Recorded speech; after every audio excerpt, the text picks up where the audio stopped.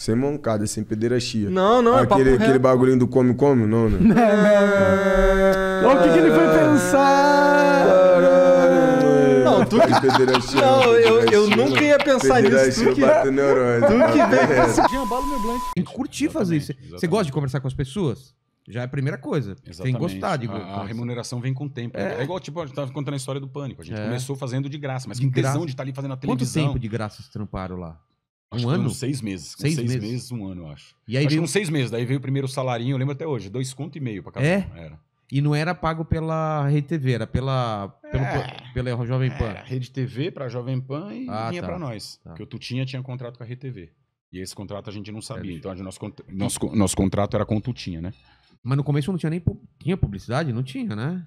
No comecinho, comecinho, comecinho. Eu acho que não, no comecinho. Não, não lembro, cara, não lembro. Não mas sempre lembro, não. teve, sempre teve um ou outro. Eu acho que, eu acho que teve a Vivo. Ah, que é? a Vivo já tava na rádio, eu lembro até hoje, que eles deram um celularzinho pra gente, a gente começou. Tanto que o Vesgo gravou na, na festa da Vivo e ali foi a ideia. Ah, Ele tá. começou os, os convidados na festa da Vivo, sozinho. Depois teve a ideia e depois entrou o Silvio. Tá. Foi, foi por aí. É que minha memória é meio.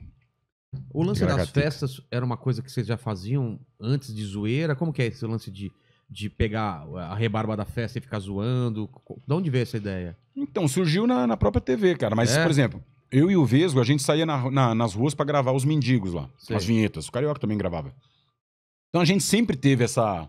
Não audácia, mas essa. Cara de pau, né? Essa cara de pau de, de chegar e parar uma pessoa, falar, conversar, falar uns absurdos. E isso se tornou depois é, é, é, viável pra gente fazer com, com artista, porque ninguém fazia. Né, A galera tinha meio que insegurança de, de queimar o filme. Pô, não vamos fazer com o artista X, com o empresário tal. E a gente não tinha isso. Fechar E- a porta de, da Globo ou de alguma outra é, coisa. a gente ia e tinha que fazer, tinha que trazer matéria, cara. Independente da festa, se era ruim, se era boa. Aí começou a fazer com o artista. Caramba. E, e da sua parte, teve algum ponto que você falou, cara, eu passei do limite, tipo, na zoeira, assim? Teve vários. Teve vários. É que eu não lembro exatamente, cara, assim, pra te falar Você agora. assistiu mas- do Ricardo? Ele falou que ele sentiu que passaram do limite quando jogaram barata na cabeça da galera. Na Paulista. Ah, eu foi, foi, Ele falou, cara, ali. foi. Mas, mas no seu caso, você, você lembra de alguma Então, coisa é que que você eu não- fez de matéria que você falou, caramba, eu passei um pouquinho do ponto?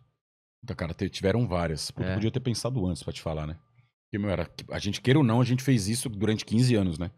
Eu saí do pânico, fui, eu saí do pânico, fui pra Record, depois voltei e fui recontratado 15 pelo anos. pânico. É. Então, meu, era, é muita história, né? É. Teve pra caramba, teve muita coisa. Teve muita coisa que a gente passou do limite.